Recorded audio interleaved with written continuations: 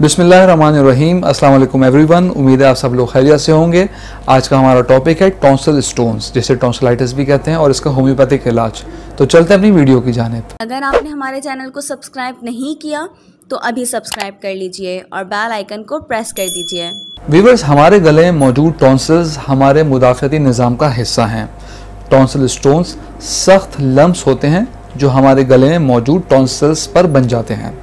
Tonsils का असल काम हमें इन्फेक्शन से बचाने में मदद करना है। टॉन्सिल बैक्टीरिया और वायरसेस को फ़िल्टर करते हैं, जो हमारे मुँह से हमारे जिसम में दाखिल होते हैं। बिल फ़र्ज़ अगर इन टॉन्सिल्स को रिमूव कर दिया जाए तो आपका मुदाफ़ती निज़ाम भी इफ़ेक्ट होगा। टॉन्सिल स्टोन्स बेसिकली सफ़ेद या पीले रंग के होते हैं। एक से ज़्यादा भी हो सकते हैं।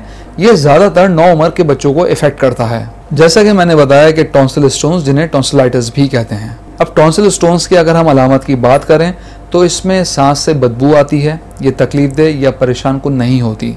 अमूमन टॉन्सल स्टोन्स को हटाने के लिए नमक वाले पानी से गार्गल्स यानी गरारे करना बेहतरीन सोल्यूशन है। लेकिन अगर ये टॉन्सल स्टोन बार बार बनते हैं और आपको परेशान करते हैं तो आपके डॉक्टर से सर्जरी के ज़रिए भी रिमूव कर सकते हैं। वीवर्स वीडियो में आगे बढ़ने से पहले मैं आपको रिमाइंड कराता चलूँ। अगर आप नॉलेज हेल्थ मैगजीन के ई मेंबर बनना चाहते हैं तो स्क्रीन पर दिया गया व्हाट्सएप नंबर अपना नाम। और शहर का नाम लिख के व्हाट्सएप कीजिए। और हर महीने नॉलेज हेल्थ मैगजीन अपने मोबाइल पे पढ़ी है। तो चलते अपनी वीडियो की जानेब। वीवर्स अब हम इसकी वजूहत की बात करते हैं। वीवर्स हमारे टॉन्सल्स पर मुख्तलिफ़ किस्म की माइक्रोस्कोपिक दरारें होती हैं। मामूली साइज़ की ये सुरंग नुमा सुराख और गढ़े होते हैं। यानी ये आपसे माइक्रोस्कोप के ज़रिए ही देख सकते हैं। ये एक तरह से अनइवन सरफेस होती है आपके टॉन्सल्स के ऊपर।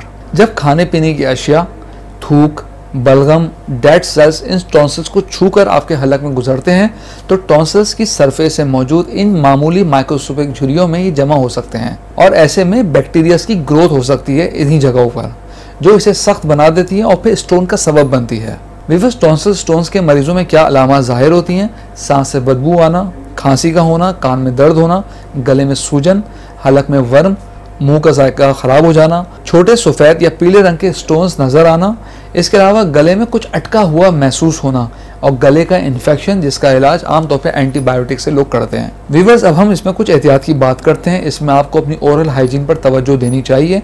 मुँह की सफ़ाई का खास ख्याल रखें। नमक मिले पानी से गरारे करें। इसके अलावा कैंट का ग्लाइकोमोल लोशन आप इस्तेमाल कर सकते हैं, जो आपने एक गिलास पानी में दो टेबल स्पून मिक्स करके उससे गरारे करने, इसमें आपको काफ़ी रिलीफ मिलेगा। इसके अंदर ऑलरेडी कैलेंडोलर टेंचर शामिल है, जो आपके टॉन्सिस्टोन्स को काफ़ी जल्दी रिमूव कर देता है। वीवर्स ग्लाइकोमोल के अलावा कैंट की तैयार करदा कैंट टॉन्सीफोर्ट सिरप और कैंट का टॉन्सीफोर्ट टैबलेट्स। टॉन्सल्स और उससे मुतल अलामत के लिए काफ़ी मुफीद है। टॉन्सीफोर्ट टैबलेट की आप एक से दो गोली दिन में तीन बार इस्तेमाल कर सकते हैं। ये गले में खराश, नज़ला, ज़ुकाम इसमें काफ़ी रिलीफ देती है। इसी तरह आप टॉन्सीफोर्ट सिरप भी एक टीस्पून दिन में तीन बार इस्तेमाल कर सकते हैं। टॉन्सिल स्टोन, टॉन्सल्स, गले के वर्म और सोजिश और इन्फेक्शन में काफ़ी रिलीफ देता है। व्यूवर्स, हम उम्मीद करते हैं आज की वीडियो आपको पसंद आई होगी। कमेंट बॉक्स में अपनी राय से ज़रूर आगा कीजिएगा। अगली वीडियो तक के लिए अल्लाह हाफिज़।